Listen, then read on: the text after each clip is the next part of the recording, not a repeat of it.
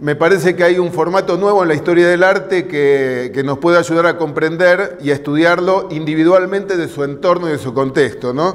Entonces se trata de un programa de postdoctorado que estoy desarrollando en la Universidad de Buenos Aires, que lo divido en tres partes. Lo hemos presentado en el encuentro de Comodoro Rivadavia, donde hablamos de, de este nuevo formato que son las placas conmemorativas. ¿no? Entonces, en Comodoro Rivadavia, este año, en el encuentro de la Red Nacional de Argentina, presentamos este proyecto.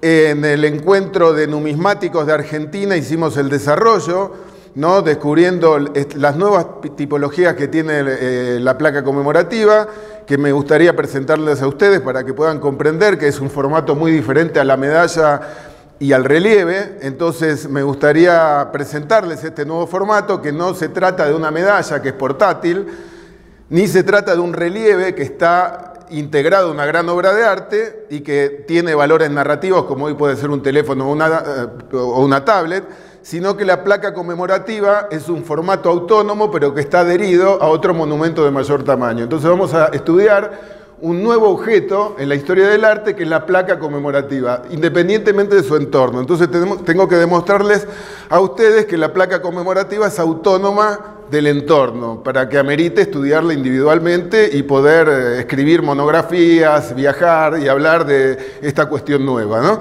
Entonces vamos a hablar de esta tipología nueva que según su fabricación, según cómo se fabrique, vamos a encontrar placas que son de distinto origen. Hay una industrialización muy importante en el siglo XIX en relación a las placas conmemorativas, que es la galvanoplastia, la fundición ¿no? Hay placas semiartesanales donde grandes escultores que han prosperado en el siglo XIX y XX han puesto sus talleres y las empezaron a vender por catálogo, como por ejemplo Santiago Girola. Este, y hay placas de autor, que son las que más nos interesan porque hay grandes firmas, todos los grandes escultores de Argentina y también de Italia, fundamentalmente lo que estudio es Argentina, han eh, tenido en su haber placas conmemorativas. Entonces, en cuanto a su función, vamos a encontrar en monumentos las placas conmemorativas, que es la que se suelen robar, por lo menos en Argentina, en los edificios, cuando se inaugura un edificio, cuando se conmemora algún aniversario, en las calles, para identificar cuando se inaugura una calle, ¿no? Este, la mayoría en Buenos Aires han sido saqueadas, robadas, y este, vamos a encontrar las que nos interesa en este encuentro de, la red eh, iberoamericana de cementerios, las placas conmemorativas funerarias, que es el objeto de estudio nuestro, que como es una obra de arte autónoma, independientemente del mausoleo del Panteón, también podemos hacer una historia de los estilos, es decir, podemos ver que hay distintos periodos, placas neoclásicas, placas románticas, placas Art Nouveau, placas Jovan Stil, placas del modernismo catalán, placas Ardeco, que son las que se llevan en porcentualmente la mayor cantidad de la producción. Este, si, si, se puede apagar la luz, voy a agradecer, si fuera posible, para las que, que vienen ahora, perdón. Placas de vanguardia, ¿no? Y fundamentalmente en esta época que uno cree que la placa conmemorativa ha muerto, han resurgido placas hiperrealistas con nuevas tecnologías como la impresión 3D, ¿no? Eh, la computación fundamentalmente, las placas hiperrealistas son muy interesantes, Está de un querido colega que murió en un ataque eh, de la subversión, ¿no? han hecho su familia en la Recoleta una placa conmemorativa hiperrealista, en fin, quería presentarles este nuevo formato. Estando claro que se trata de un nuevo formato, ahora quiero tratar de intentar mostrarles cómo la placa conmemorativa me parece que es una obra de arte autónoma y voy a explicar rápidamente en cinco casos por qué, ¿no? Cinco casos vamos a ver del cementerio de la Recoleta. El primer caso que tenemos acá es una arquitectura romántica, pero que si observamos, ¿no? Una de sus placas, para tomar una, porque no, está, no es cuestión de estar acá siete horas hablando de placas, tomamos una como muestra, vamos a ver que en un monumento romántico tenemos una placa con una estética art déco, de manera tal que acá ya vemos un duelo de estilos, porque el monumento obviamente se hace antes y las placas se van ubicando después. Entonces hay una asincronía entre el estilo del espacio arquitectónico y de la placa adherida, de manera tal que ya hay un principio de autonomía. Fijémonos el caso número dos, un monumento neoclásico, eh, que tiene varias placas, pero vamos a tomar las laterales. De las laterales vamos a tomar una como, como muestra. y ahí vamos a ver el Art Nouveau, ¿no? En un monumento neoclásico, una placa Art Nouveau. Tercer caso, para no hacerla larga, un monumento neogótico, como pueden apreciar. Este, vamos a, del elenco de placas que están adheridas, vamos a tomar algunas, ¿no? De las... Sí. Calma, calma. Yo te puedo dar más tiempo, pero vas muy rápido y como que estamos así como... Vas corriendo. Ah, muy bien, sí, no, estoy he acostumbrado. Lo que pasa es que en el congreso anterior me dieron siete minutos. Ese otro bueno, bueno, perdón. Está muy bien, perdón, disculpen la velocidad. ¿Pero se entendió hasta ahora? Eh, ¿Volvemos a empezar? No. bueno. Bueno, disculpen, yo lo que pasa es que pienso en Rosendo y como me ha pasado muchas veces estar en último término como cierre, el síndrome de Rosendo, ¿no? Que todos la hacen larga, los que vienen y el último se queda cortito. Bueno, vamos más despacio. Bueno, entonces vemos acá una arquitectura neogótica. Tú sabes que es un consejo muy bueno porque me enfermé gravemente en La Paz, caí mal, me llevaron al hospital porque quise hacer todo, los, todos los monorail esos que tienen y después me subió la presión y chao, me gusté acá despacio. Bueno, gran consejo. Bueno, estamos en un monumento entonces neogótico, este, con placas variadas. El lateral izquierdo lo descartamos porque hay placas muy interesantes, pero Art Nouveau y de distintos periodos, pero lo que más nos va a interesar es la placa de la derecha, ¿no?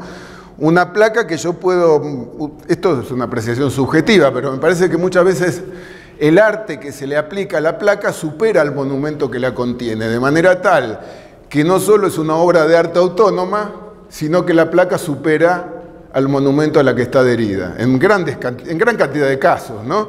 Bueno, este, gracias por avisarme, porque que vaya más lento, porque así puedo explicarles otras cosas muy interesantes sin excederme. ¿no? Ojo, no me des eh, la mano porque te tomo el codo. Fíjense en este monumento, que es eh, el monumento al padre de la escultura argentina, al, escultor más grande que tiene Argentina, que es Lucio Correa Morales, que tiene un monumento relativamente humilde, finito, como un edificio de departamento modesto. Y fíjense que en el lateral derecho, casi en estado ruinoso, hay dos placas impresionantes. Fíjense la modestia del espacio arquitectónico, ¿no? Y este, veamos a la derecha, en estado, digamos, ruinoso, dos placas. Y estas placas ustedes van a poder apreciar el contraste frente al monumento arquitectónico. ¿no? La imagen que ustedes ven de la izquierda es de Carlos Correa Morales, un familiar que pasó al olvido, si bien funcionario bancario, pero no, busqué en las distintas guías quién es quién y guía azul de, la alta sociedad de la época, no pude encontrar datos, pero la imagen de la derecha del gran escultor Lucio Correa Morales tenemos una placa realizada por tal vez también otro gran escultor argentino que es Alfredo Vigatti. Para que sepan quién es Alfredo Vigatti, es el autor del monumento más grande que tiene la Argentina, que es el monumento a la bandera de Rosario. Bueno, entonces este, este es un cuarto caso y nos queda este, si empezamos a hacer análisis del Art Deco de Alfredo Vigatti, nos llevaría mucho tiempo porque no lo podemos encasillar dentro del Art Deco, sino que tuvo también su evolución estilística. Fíjense la calidad de la pátina, el conocimiento de la anatomía, la geometrización de la anatomía, en fin, el uso tipográfico. Podríamos tocar la guitarra durante horas hablando de la tipografía en los cementerios, ¿no? Y ahí podríamos abrir una sucursal que es la epigrafía, ¿no? Pero no hay tiempo.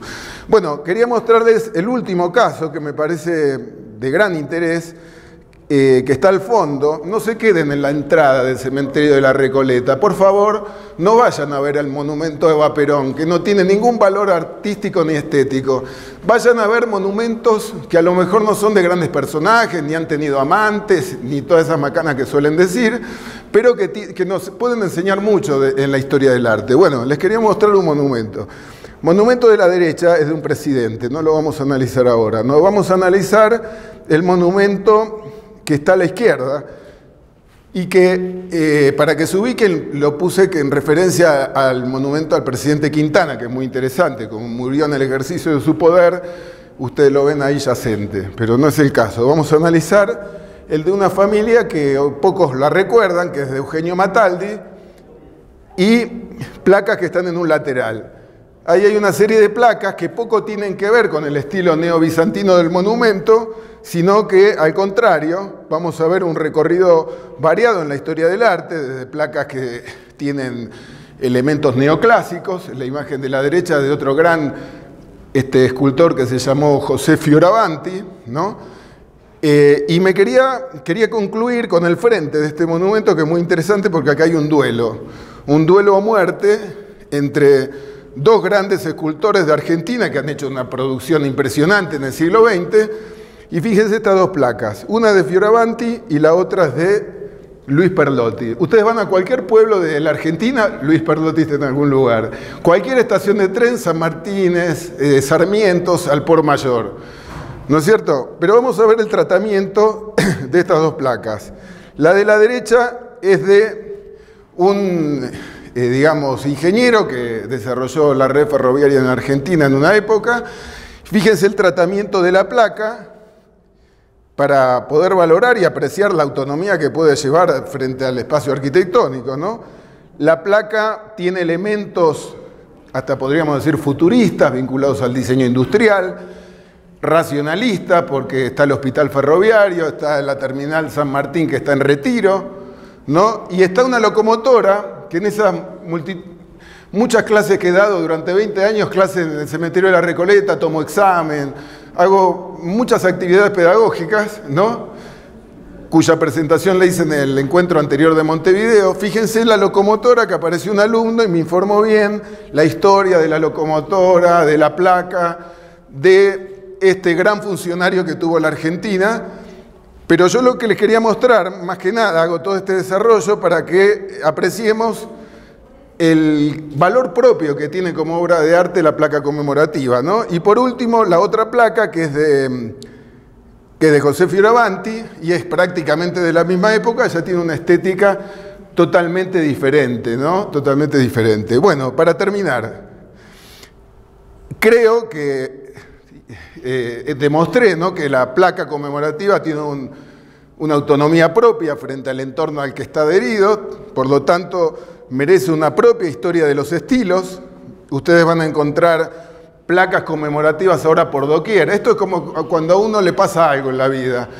¿no? Eh, un familiar se enferma de alguna enfermedad determinada, después empieza a ver uno por todos lados casos, o le pasa algo agradable en la vida, descubre cómo se llama una flor, entonces empieza a encontrar esa flor por todos lados. Con las placas conmemorativas le va a pasar lo mismo, porque están diseminadas en multitud de espacios, ¿no? Eh, muchos tienen un valor estético para estudiar, también en cuanto a su elaboración. Eh, van a encontrar en escuelas, hospitales. Por ejemplo, este es el hospital eh, un hospital oncológico que tenemos en, cerca de mi casa. Van a encontrar placas con un gran valor estético y, por supuesto, placas conmemorativas funerarias. ¿no? Para cerrar, la historia del arte tiene su propia encadenamiento, ¿no? que todos ustedes lo conocen y no viene el caso de desarrollarlo, prehistoria, Mesopotamia, Egipto, Grecia, Roma. La historia del arte funerario, como dije en la anterior presentación de Comodoro Rivadavia, que presenté esta periodización, tiene también su propia historia del arte, que no es la misma que la de historia del arte general, porque empieza recién en el siglo XIX, de manera tal que así como la historia de los cementerios, la historia del arte de los cementerios tiene su propio encadenamiento de estilos, distinto de la historia del arte universal, la historia de las placas conmemorativas también tiene también su propia evolución distinta a la historia de los cementerios y de la historia del arte universal. No sé si se entendió algo. Bueno, cierro con esto. Mi mayor afán es poder evitar que se sigan robando estas placas conmemorativas, estudiarlas, editarlas, protegerlas, darle su propio valor autónomo, porque en general se protege al monumento, al macromonumento, y nos olvidamos de ese micromonumento que está adherido, que muchas veces tiene un valor estético superior al container al que está adherido. Muchas gracias por todo y bueno. Mándenme placas, por favor. Si tienen placas y encuentran por ahí y me quieren mandar estos correos, les voy a agradecer. Bueno, eso es todo.